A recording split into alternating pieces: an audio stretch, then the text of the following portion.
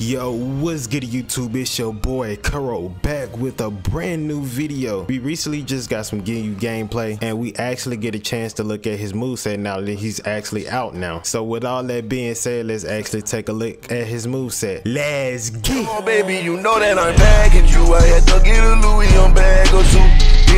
One. So taking a first look at his auto combo. His auto combo is a barrage of water sword slashes and they look like they got some range on it. After he gets done doing his auto combo, you can actually follow up with his fourth form striking tide, which seems to be a long distance move. So you could be pretty far away and you can still connect this because if you look closely, he literally lunges himself towards you. So that's definitely something to look out for when you find these Giyu players because I just get a feeling in my tummy that they just gonna be tossing it out all willy-nilly. So definitely watch out for that. Looking at his second special move is actually a recycle move that Tanjiro already has, which is the second form water wheel. So this is nothing new. Yeah, it's pretty much the same move like Tanjiro's. Taking a look at his water dragon, will you guys go awakening with Giyu you, you'll be able to use this 10th form, which is also aka called constant flux. This move is definitely deadly because with each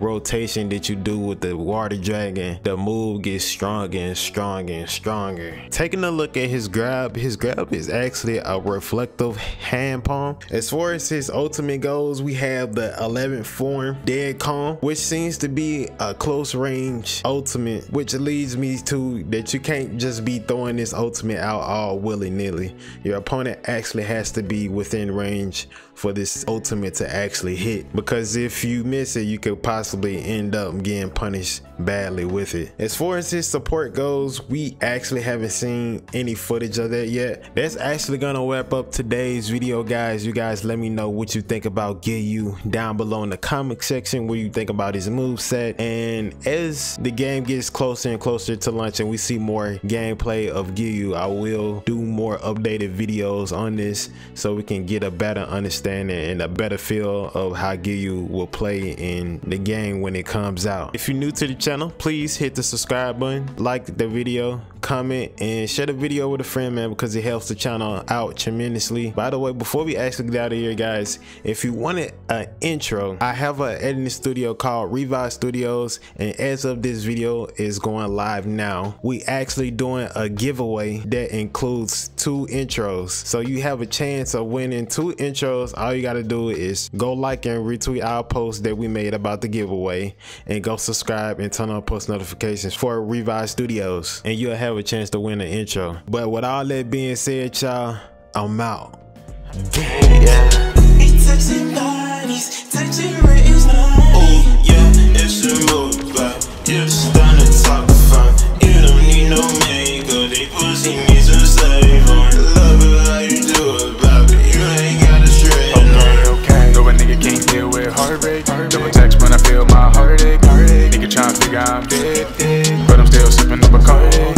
back like I'm fucking with a Harley. White